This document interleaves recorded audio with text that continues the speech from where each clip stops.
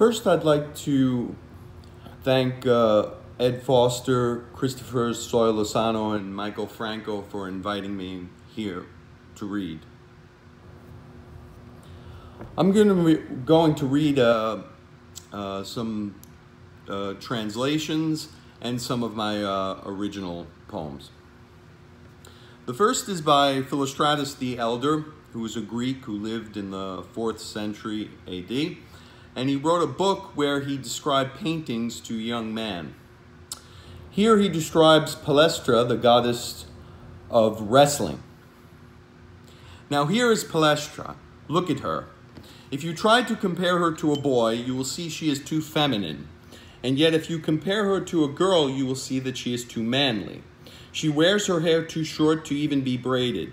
Her eyes may be either those of a man or a woman, and the scornful expression on her face indicates that she has no interest in lovers or wrestlers. She is certain that she can resist the one as well as the other, and she is certain that she will so excel in the contest that no man will ever be able to graze her breasts. And her breasts are seemingly underdeveloped, and no larger than those of a young boy. She has no interest in feminine things. Indeed, she does not care if her arms are white as snow, and shows her disapproval of the dryads, since they spend hours in the shade so as not to darken their body. Indeed, well aware that Helios dwells in the hills and vales of Arcadia, she implores him to tan her body, to give it color, and he obliges her. As if he were giving her a flower, so too does he redden her body with moderate heat. And the painter shows his skill in painting the shadows that play on the young girl who is seated. And indeed, her posture in this position is flattering, and the olive branch across her bare breasts is also becoming to her. Palestra is very fond of this tree, since men use its oil in wrestling, and they derive great pleasure from it, and so does she, just as though she were one of them. Now I'm going to read a series of uh, poems that I titled Inventions on Ancient Themes. 1. Dust scatters in the late afternoon wind. The sea boils over.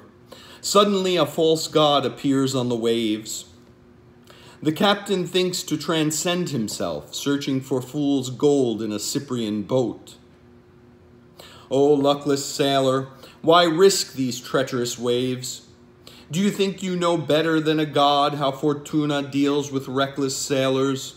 Better even than this god who tests your prowess now and will trick you into believing the golden mirage is real as he tosses your boat onto the rocks? Turn back, go no further, lest you anger the god more. Or you will soon wake up in Hades, a broken man, wandering aimlessly among the dead. 3. Ilia, spirit of the Tiber, has been, in, has been violated. As a result, our children have become our enemies, cursed their fathers, and raped their mothers. The streets are no longer safe. Young men hide in dark alleyways, awaiting their victim, a bloody knife held in their filthy hands. Their eyes blaze through the black night. There has been no sun for a hundred days. Apollo, you who see far into the future, save us, I beg you. The prophecies speak of strange diseases to come, infecting the entire earth, of madness and death from a thousand plagues. Help us, please, otherwise all men and women will have to suffer the punishment of Zeus without end. 10. Let's drink by the hearth, the hearth, and leave all our sorrows to the gods. They can provoke the winds on the boiling sea, bring mighty civilizations to utter ruin as they please. I don't care, not if you're near me. So come kiss my lips, dear boy. Do not think of tomorrow. Death lurks around every corner for those who think like you or I, who pursue pleasures not known to ordinary men. 35. What can I, a poet, ask of a god? Nothing. except that I may never take for granted the, thing, the things I have, though they do not amount to much, that I may preserve my sanity and health, so that I may live a long life in peace. What can I, a poet, ask of a god? No more than this. 33.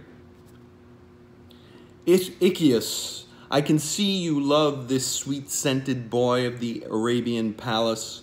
You are seduced by these jewels and rare gems that are strewn about his bedroom and that hang from his thin neck, and his exquisite scent, and his deep red lips, and his blue radiant eyes. But beware, the gods say you will meet your death at his hands. Okay, now I'm going to read uh, from my translation of Gerard de Nerval's The Chimeras, uh, the second part, The Christ in the Olive Groves.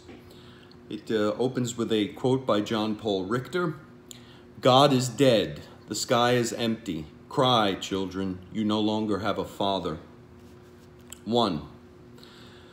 When the Lord lifted up his frail arms to heaven beneath the sacred trees, as poets do, he had suffered in silence for a long time and believed himself betrayed by ungrateful friends.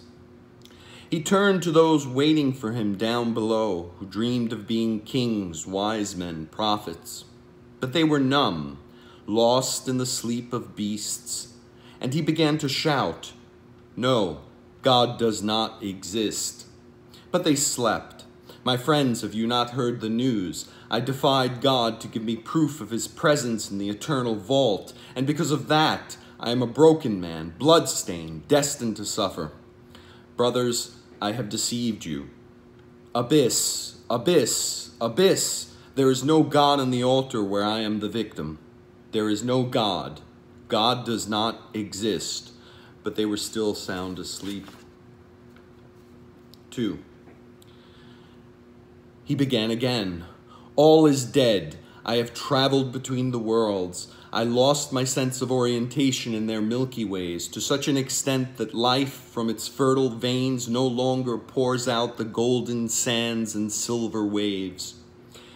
Everywhere I looked, I saw a wasteland surrounded by waves, disturbed hurricanes from restless oceans. A vague breath influences the motion of the wandering spheres, but no spirit exists in these immense regions of space. Looking for the eye of God, I saw only a single eye, vast, black, and bottomless, and the darkness from within radiates out into the world, growing ever darker. Looking, a strange rainbow surrounds this somber pit. Threshold of the old chaos whose shadow is nothingness spiral that engulfs the worlds and the days. Three, immobile destiny, standing silent watch, cold necessity, as fate advances among the dead worlds under the eternal snow and freezes gradually the dying universe. What are you going to do, primordial power, with your extinguished suns, one collapsing upon another? Are you sure you are able to transmit an immortal breath between a world that dies and one that is being reborn? Oh, my Father, is it you that I feel inside myself? Are you alive or are you defenseless against death? Have you succumbed during a final reckoning with this dark angel eternally condemned? Because I sense that I am alone in my weeping and suffering. Alas, if I die, everything will die. 4. No one heard the eternal victim moan, who gave to the world in vain all the outpourings of his heart.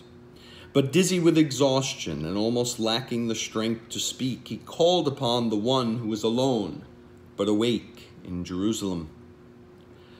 Judas, he cried, you know how they value me. So hurry, sell me off, be done with all this bargaining. I am suffering, friend, thrown to the ground and beaten. Come to me, you who at least have been emboldened by crime. But Judas departed, discontented and deep in thought, finding that he was poorly paid, and so full of intense remorse that he read the account of all his crimes written on every wall. At last, only Pilate, who kept a careful watch over Caesar, feeling some pity, averted his eyes. Bring this madman to me, he said to his aides. 5. It was him, this madman, this sublime fool, this forgotten Icarus who flew too close to the sun, this Phaeton destroyed by the lightning of the gods, this beautiful Attis emasculated whom Cybele revives. The augur examined the wound on the victim side. The earth was getting drunk with this precious blood of Christ. The dizzy universe was unsteady on its axes, and Olympus for an instant, instant staggered toward the abyss. Answer, cried Caesar to Jupiter Ammon. What is this new god being imposed upon the earth? And if it is not a god, it must be a demon. But the oracle invoked had to be silent forever. There was only one who could explain this mystery to the world the hidden God who gave his soul to the children of clay.